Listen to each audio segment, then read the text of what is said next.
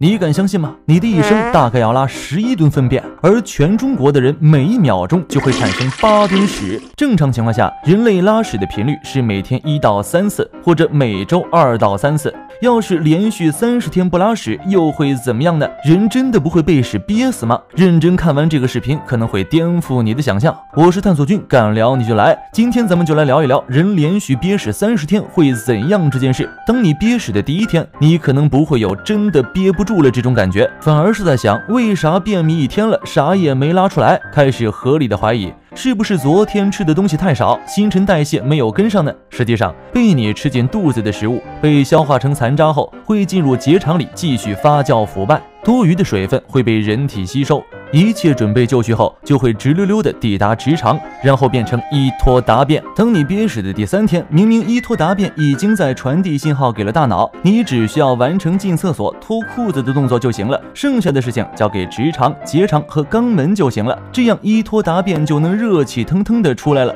可你的大脑就是不听指挥，不想让一坨大便出来的太顺利，一身反骨的大脑下令让肛门括约肌死死的守住最后一道防线，不允许任何。依托答便离开肛门，一般停留时间超过七十二个小时，就算是便秘了。当你憋屎的第三天，依托大便已经在你的体内滞留了一百二十个小时，它们会被结肠重新吸收筛选一遍。原本就是依托大便的它们会变成越来越干燥，像是一块坚硬的石头。此时你要是真的憋不住了，跑去厕所释放天性，就能清晰的听到厕所坑传出来的扑通声。咱们接着往下看，你敢想象吗？一周没拉出来的屎就会变成一块风干的腊肉，坚硬无比。再加上你早就触发了顽固性便秘的机制，当你憋屎的第七天，大脑已经传递了无数个信号，让你去排泄粪便。可你在厕所里蹲到腿脚发麻，也是颗粒无收。要是为了让一坨大便顺利出山，你开始用尽全身的力气了，结果就是一坨大便没出来，肛门还被痔疮和肛裂盯上了。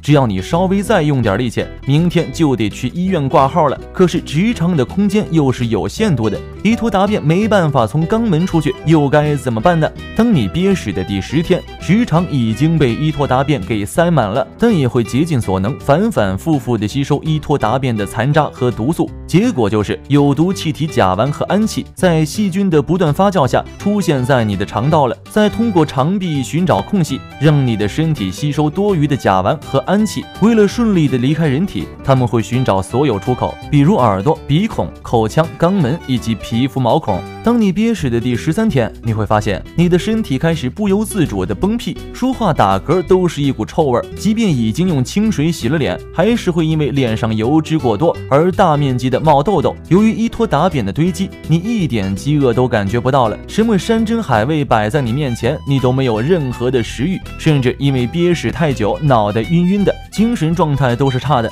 当你憋屎的第十五天，依托答辩把仇人长麻痹引来了，此时你感觉腹部超级胀痛，会有一。种依托答辩要从嘴里呕吐出来的错觉。浙江丽水一位七十二岁的老奶奶，极限憋屎十五天，各种方法都用了，还是拉不出来。还被折磨的呼吸困难，生不如死。最后送到医院抢救，花了三个小时做手术，竟然切出来一条蟒蛇长的大便。如果让你连续憋屎三十天，身体会有什么样的变化？结果超乎你的想象。当你憋屎的第二十天，甲烷和氨气好像来到了天堂，肆无忌惮地刺激你的肠道黏膜，直到他们的援兵肠道炎症赶来才肯罢休。因为接下来的事情需要毒素和炎症一起努力干。在你的肠道系统里，发掘能力强的入伙人。要是你的免疫系统够强，就只能找到结肠息肉；不够强，也许能找到结肠癌。当你憋屎的第三十天，你终于等来了结束的这一天。半死不活的你，以为吃窜稀的药就能让一坨大便顺利出山，没想到肠梗阻已经找上门了。他可是最懂怎么折磨人的，会让你的肚子体验一波。什么叫做过山车般的剧痛？紧接着，你的腹部也不老实了，跑来凑热闹，跟着肚子一起痛。超乎你想象的后果出现了，那就是痛到呕吐。把带着血的肠胃液都吐了出来，其他的内脏器官可没有打过这么硬的仗，还没开始反应就被剧烈扩张的肠胃伤害到了，结果就是引发严重的器官衰竭。如果不及时就医，你就会因为持续的脱水而出现全身中毒的情况，不仅心跳脉搏变得虚弱了，就连眼窝子也凹进去了不少。所以探索君提醒各位，有了一坨大便要排泄出来的感觉，就立马去解决了，不然憋屎真的会把病给憋出来的。